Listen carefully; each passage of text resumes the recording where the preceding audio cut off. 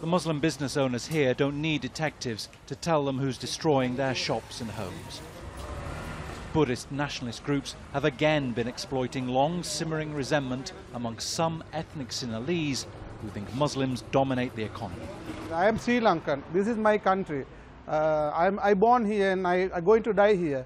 Uh, the, I don't know. I am Sri Lankan. After that, uh, I don't know. This is I. This is a simple, simple incident. But uh, I am uh, really um, proud of my Sri Lanka.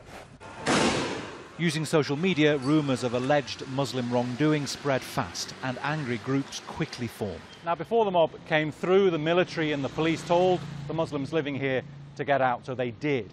When they came home, when it was all over, they came back to this. And many of the people living here have told us that they've been left with the impression, however right or wrong, that the security forces weren't interested in looking after their property. The local police chief tells us they did everything they could. The government has sent troops, imposed a curfew, and cut access to social media. But the coalition administration, led by Prime Minister Ranil Wickremesinghe, is politically weak, and some have accused it of not doing enough to tackle rising nationalism. It's very difficult, these are very difficult uh, questions to answer because of the emotions involved. It's very easy to, for somebody to give me that, uh, uh, that idea and uh, play something in me and then and get my emotions to run riot in me.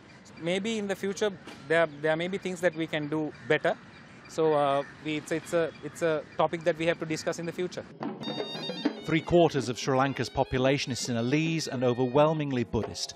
But nationalists have promoted long held fears that the character of the island is under threat. First from British colonialism, then there was a 26 year civil war with Tamils, now it's Muslims.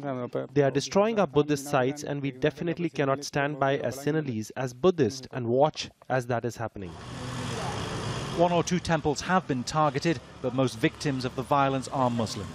The region of Kandy is vital to Sri Lanka's multi billion dollar tourist industry, but it's under curfew once again. Bernard Smith, Al Jazeera, Kandy.